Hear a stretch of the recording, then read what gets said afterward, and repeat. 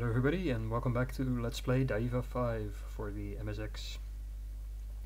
Okay, so we're about to get started with our first planet battle. Uh, like I said, this is going to be the action portion of the game. Um, basically what we have to do is we have a planet. You can see a little map in the middle of the screen there with a blue arrow above it.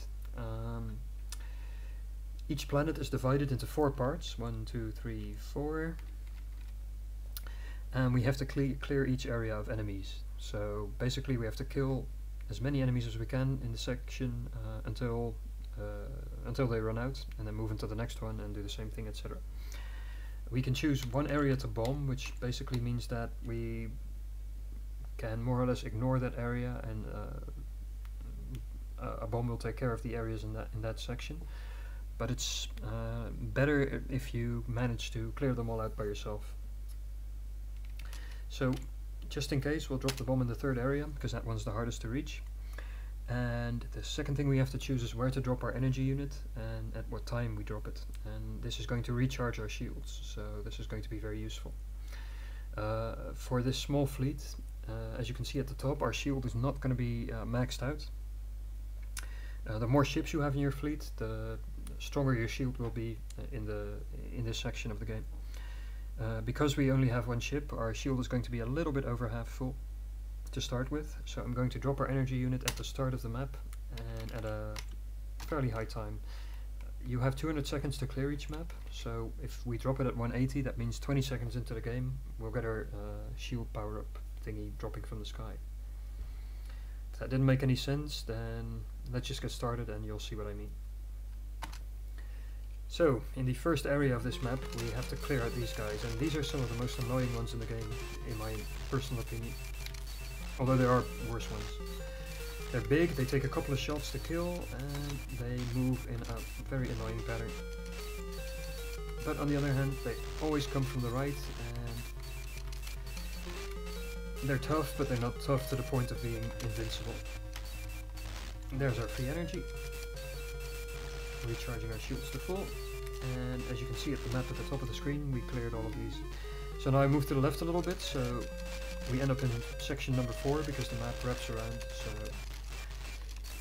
if you walk off the left side of the map, you end up on the right side, and if you walk off the right side of the map, you end up on the left side, if that makes any sense.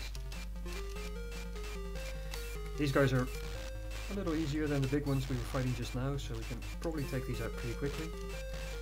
Uh, like I said earlier, you have 200 seconds in total, so if you can clear out each section in 50 seconds, uh, that's going to be optimal. And as you can see, we took about 50 seconds to clear both of these, so that's a pretty good start. Now, letting the bullets hit you is not the biggest deal in the world, but if but you really should avoid uh, touching the enemies themselves, because they will really mess up your shields very quickly.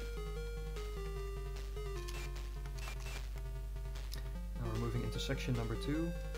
This has also some kind of annoying enemies, but again, not the worst.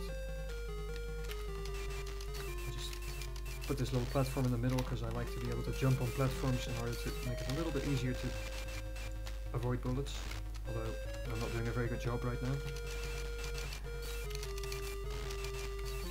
Let's try and take out as many of these guys as we can.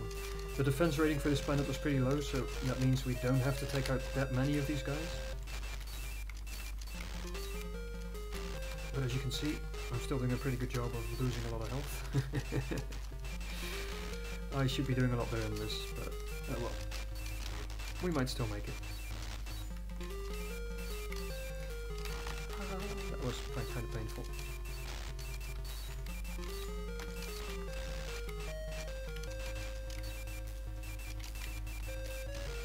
Okay, out.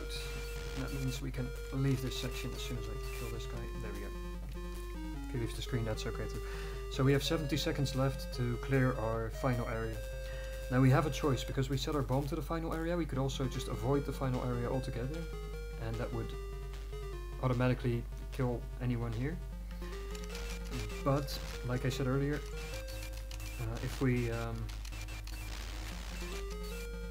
Uh, if, if we manage to clear this ourselves, we, we actually get a bit of a bonus because we don't destroy as much of the resources on this planet. And that means more income and just all around better for us. So I'm gonna try and take these guys out with my little bit of remaining shield. Thankfully they are some of the more easy enemies to kill. And they don't throw as many bullets as some of the other ones. So hopefully we'll be able to manage this, although we only have 30 seconds left, so I need to kind of hurry up. Kind of missing a lot here, so that's not good.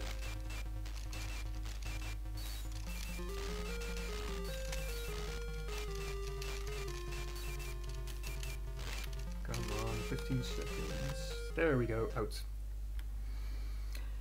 Now we have a very good chance of conquering this planet, uh, even with our tiny little fleet.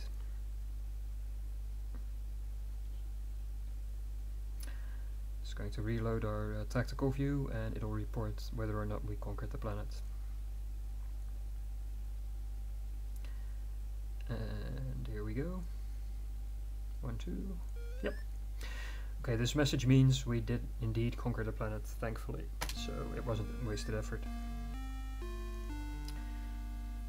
I think this means the fleet was reinforced or something, I'm not sure. Oh, they built another one, right, yeah, exactly. So they now have three fleets total.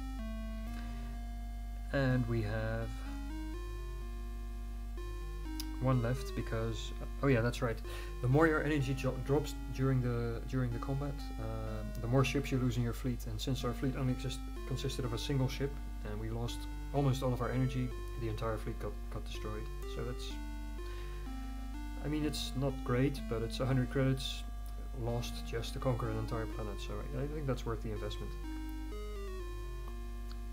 now our next step is going to be deciding what we're going to do with um, yeah, what our next step is going to be. Are we going to consolidate or are we going to conquer more planets? And I'm thinking ideally we'd conquer more planets, but let me have a look first at our surroundings and see what our options are. So we could attack this one, which is, as you can see, it has a fairly low population. It doesn't have the best planet production, but it also has very low defenses, so that will be relatively easy to conquer. This one on the other hand has a very high population but also very high defenses. So high defenses mean that even if we do clear all of the four areas, and that's a big if, uh, there's still a fairly good chance we wouldn't actually be able to conquer it. Um, let's see, this is also an option which also has a very high defense and not the best development, so that's probably not a very good idea. And then finally this one which has a pretty decent development and Mm, average defenses, so that's also a very good target. So we have two reasonably viable targets, and yeah, we'll pick one of the one or the other of those two for the next turn. But I think we're actually are we coming up on, on our time limit? I'm not sure. Let me check really quickly. Oops, oh, can't actually do that. Um, I think we have a little bit of time left, so first thing we'll do is. Uh, create another fleet, I think. And we'll reincarnate Vishnu. And I'm thinking we'll go for wait a minute, which one was I think which one was I talking about? Yeah, I think we'll go for the top one here. Okay, that was the end of turn one, or year one.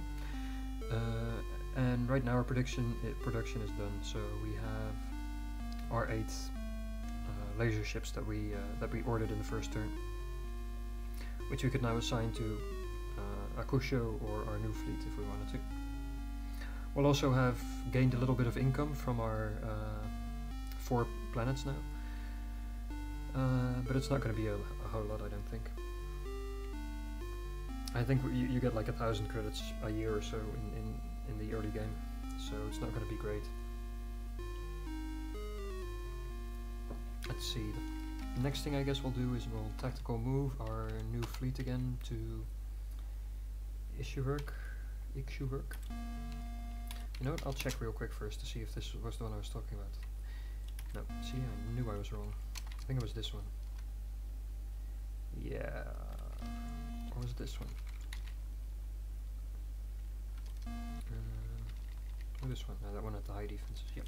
Okay, so tactical move Vishnu to this planet. Now that is getting a little bit close to our enemies, which isn't ideal, but we can do worse. And hopefully we'll be able to capture the planet above it, which will give us a little bit more access to, uh, or a, a slightly more defensive position. And no, we'll leave Akusha where it is for the moment, because we still need to assign our battleship, our cruiser, and I think I'll take six of the laser ships along. Ooh, I think he conquered that one. Yep, he did. That's okay. We'll try yet another planet battle, and hopefully we'll be able to capture Pradarna as well.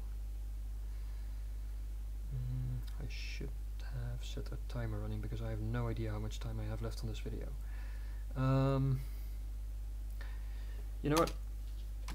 We'll get the attack started and I'll cut off the video there and move on to the next one to see if we can conquer this planet.